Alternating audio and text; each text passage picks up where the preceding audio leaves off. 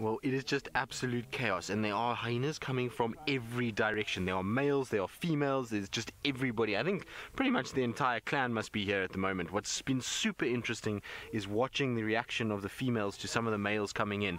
The males come in, and they're the ones that have actually stolen the bit of meat from Intima. So they've come in, and, and the females have kind of chased them off. And Ribbon is there now, she's busy kind of feeding as well. And then to our left, there's a whole bunch as well. There's a male here with very dark spots on his back. So he should be quite easy to identify. There we go. It looks like very dark but I think it's a male. Anyway, they're all so big and full at the moment, and it's just chaos. It's difficult to actually keep track of who is who in this area, but they're just literally appearing out of everywhere at the moment, and it's causing a lot of disturbance at the den. There's lots of squealing, lots of carry on, and Tima is trying to get into the food and trying to get into all kinds of places and just being bullied about by everybody, really. And Gwen gave her a bit of a hiding because she came too close to the little ones, and you can see more now starting to come in. Where Tima's going down is because there's a whole bunch more starting to come in from that side as well. So there they are, and there's one behind that even that's also drifting around. So there's lots and lots of commotion, and it's really difficult to actually keep track of who's who and where they're all going from where we're sitting. We're sitting obviously just by the den and waiting, but there's just kind of hyenas arriving in everywhere, and there's lots of pasting going on. So there we go. That's the pasting scent mark that we talk about. So they have that little gland that sits just underneath the tail that as they go over grass, it secretes a paste that will sit there and they'll then be able to mark their territory. There's also a very low ranking male that's kind of on the fringes. Shame, he looks as though he's had a real tough time. I don't know where he's gone now, but he's got lots of bite marks on him. I don't think it's that individual though. He is one that looks as though he's had a rough time, but there's one individual who's got really serious bite marks all over the face and seems as though he must be the lowest of the low because he gets chased quicker than everybody else but when he comes around. So it's really interesting in the terms of social dynamics. Paula, you're asking how many hyenas would live in a single den. Well, it depends on, on the den itself. It depends on the size of the den, depends on the number of factors. But generally, uh, you won't see too many. I mean, see there how they just got chased. So Ribbon is just chasing, one of the females is chasing the males, go away, and then you can see Intima is now going up and greeting as well, doing that typical hyena side greeting, tail or leg up, and then they sniff each other and make sure they know who's who. But it's just interesting behavior. But Paula, back to the den. It depends on, like I said, the size of the den. Uh, most of the times, though, you won't see too many. And in this case, this den is only really occupied by Gwen and Ribbon and their and their cubs. So it's got the two young ones that you that we know that are feeding off Gwen, and then Intima, who's the one now with her leg up being sniffed. And so those are the only three that really live inside the den. Every now and then you will get a situation like this, and, and this has been brought about because Gwen has dragged a bit of a carcass back into this area it's allowed all of these hyenas to come back with her to this area, but they don't actually spend time here. For the most part, those hyenas will be roaming around and going to other places and lying down during the day, but they don't actually spend too much time at the den.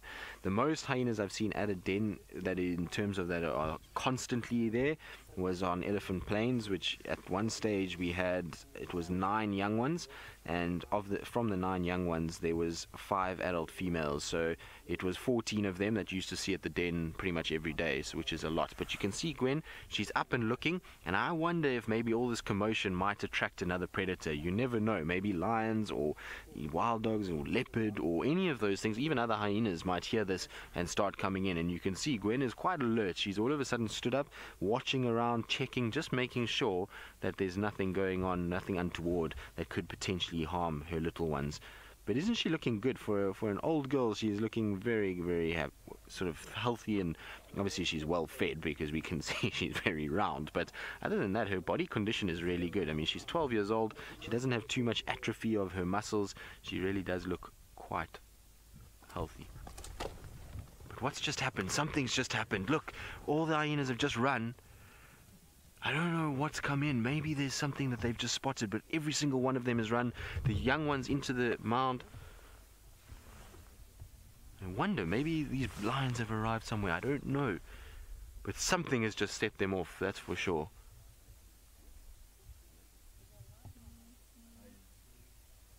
I have no idea what just happened.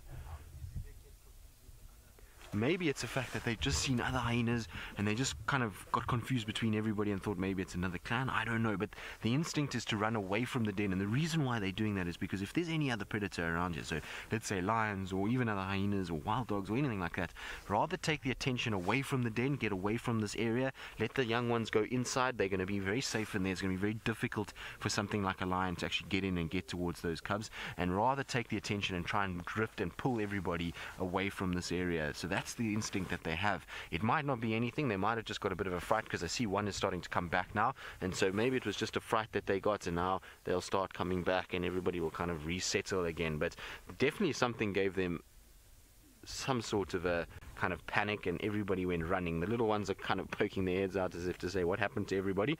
It was absolute chaos here a few seconds ago. But you see, instinct is to go back down again as one of them approaches. Now, I think Gwen is coming back. Yeah, she's on her way back as well.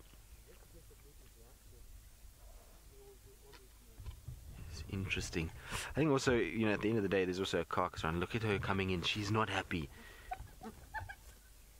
She's chasing them off. She's basically saying that, listen, I have worked hard. I dragged this a long way for my little ones, not for you to eat. And that's maybe why she's also having a bit of a.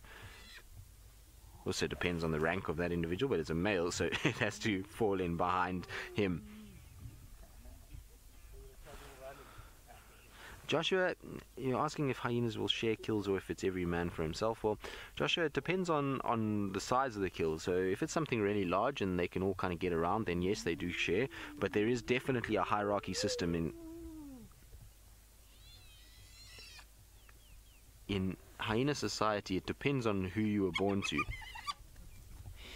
you can see now Ribbon's also coming in and chasing. I think it's Ribbon chasing this male away. But it depends on hyena society. So you've got a situation where you've got matriarchal females and very kind of clear defined roles within the clan. And so as you are developing and as you kind of grow up, so you know where you stand. And then at a carcass, you'll find that the matriarchal females, they are the ones that are going to feed first before anybody else, and they're going to provide for their cubs before anybody else. And then it's so it will go down the list until you get kind of the, the lower ranking females and then the males after that. The interesting thing is, is if a male is born to the matriarch, let's say, she he will hold quite high status while he's in the clan. So he'll still be able to feed with the females, but it's going to, as he gets older and becomes sort of less seen as a young one of that female, so he's going to have to fall down the ranks a little bit. So there is a quite a clear defined sort of feeding pattern within them, but um, it's not you know, if it's a big enough carcass, then they will share it together as well. Now, I believe Chris has got some IDs on our hyenas because Chris is probably one of our experts, well, biggest experts on the hyenas.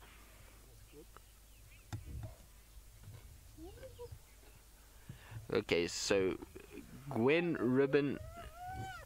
Obviously, we know Gwen and Ribbon are here. And the Cubs, but apparently Hart and June are also here, and so they. Oh. And there's just hyenas everywhere. Literally, they are just. And Comet is also here apparently as well. So there's just hyenas everywhere. And like I say, they just come drifting in and out. So it's actually really tough to work out who's who and who's coming in and out all the time. It's tough to see and, and you know you kind of have one that comes in and then it disappears and another two come in and go and so i think there's just still the original six around here that we first found walking towards the den but it's just difficult to kind of work it out and you can see gwen is still moving around. She's got a bit of a limp on her, but that's not stopping her. You can see she's still really full and fat and is and as healthy as ever. So even though she's got this limp, much like Shadow and Tundi when they had their limps, she's still able to kind of work it out and survive and find the necessary food. She, she needs to survive, and not only for her to survive, but for her little ones to provide milk and to provide food for them as well.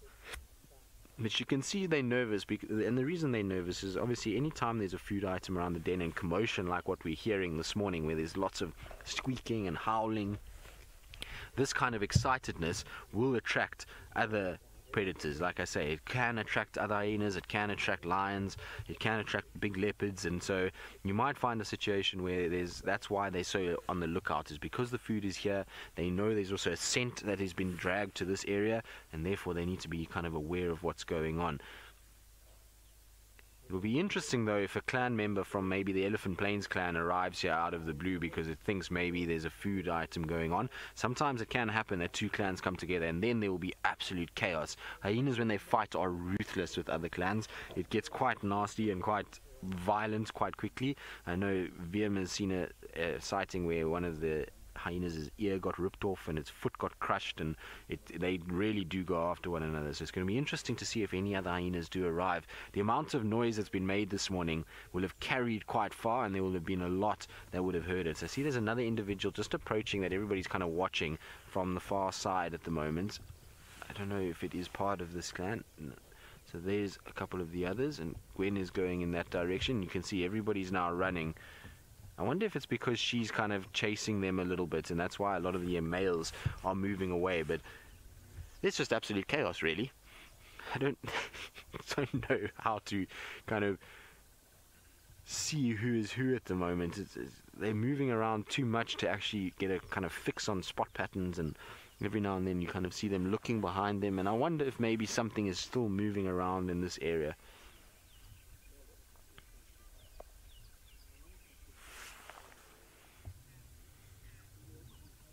Langston Lily asking, how does the pecking order or how does the sort of ranking system in hyena clans work?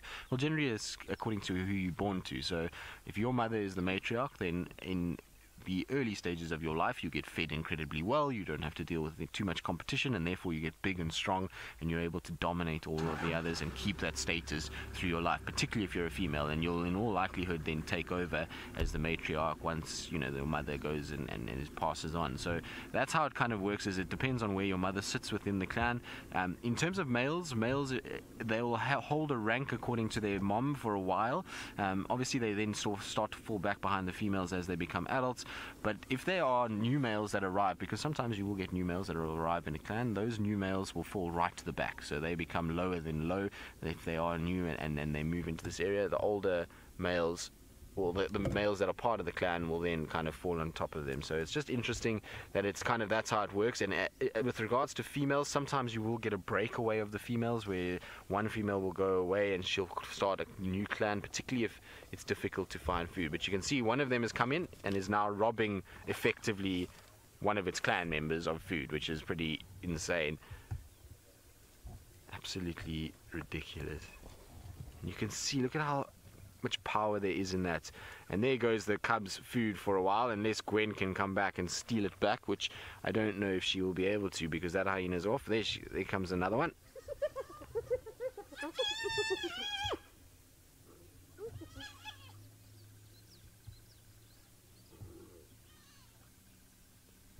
Very, very cool.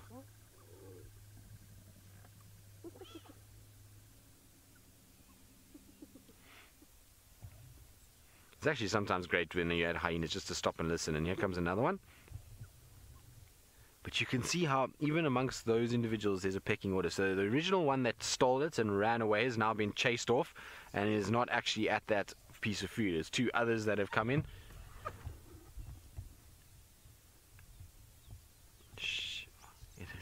Chaos. Everybody is just chasing everybody at this stage, and it's amazing how they're all full as well. It's not like they all need this food, but they're chasing one another over a cock, a little bit of skin basically, and a bit of a bone, and that's all. Now it's going to be interesting if Gwen comes in and chases them because she's coming from the left now, and I wonder if she might chase them off and grab it and then try and take it back again towards the den. No, I think she's decided she's going to leave it. There goes Intima bouncing off into the distance as well. And seems to always be in the thick of it, running around like an absolute hooligan trying to find what's going on.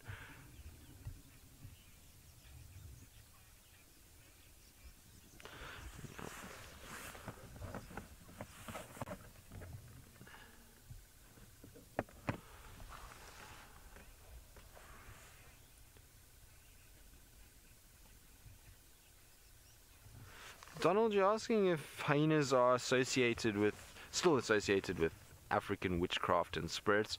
Well, Donald, I mean, it depends, I think, on on which culture you're talking about. You know, Africa has got a number of different cultures, and they all believe different things about, you know, hyenas or any animal really. There's, there's not the same belief that runs through the whole of Africa.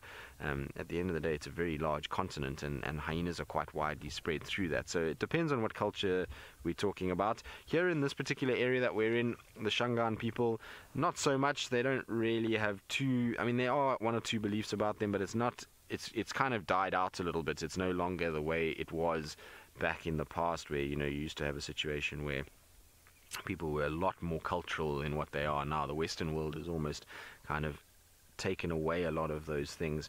And so I haven't heard too much from, uh, you know, speaking to the trackers and, and things like that. They don't have too many beliefs about these hyenas in this particular area. As to other parts of Africa, well, there could be. I mean, I know that in Ethiopia and Nigeria and places like that, there are some beliefs about hyenas and, and, and their spirits and, and, and those kind of things, but I, don't know the exact details, to be honest. I've, I've never spent time in those areas and actually speak to those people that live around them and, and have those beliefs. And so in this area and the area that I've worked in, it's, it's really not too much is said about them. They don't really have too many worries or sort of stories or anything like that. So maybe back in the day, but a lot of that has been lost, unfortunately, as westernization has taken place.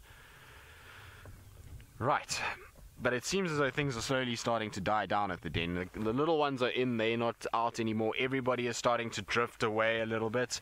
So I think what I'm going to do is probably carry on, and I want to just backtrack these hyenas and just check if maybe something isn't following in behind them that's causing them to be a little bit on the panicky side. Maybe those male lions are somewhere around as well. So while I do that, let's go back all the way to the Masai Mara to Brent Leo Smith so he can show you his Shubel because I don't think he's had time to do that. And well, he's also apparently near the Mara River, and I'm sure lots is going on that side. Just having one lucky morning with those hyenas and an incredible interaction. So that's always awesome to see. The sounds around hyena dens are incredible.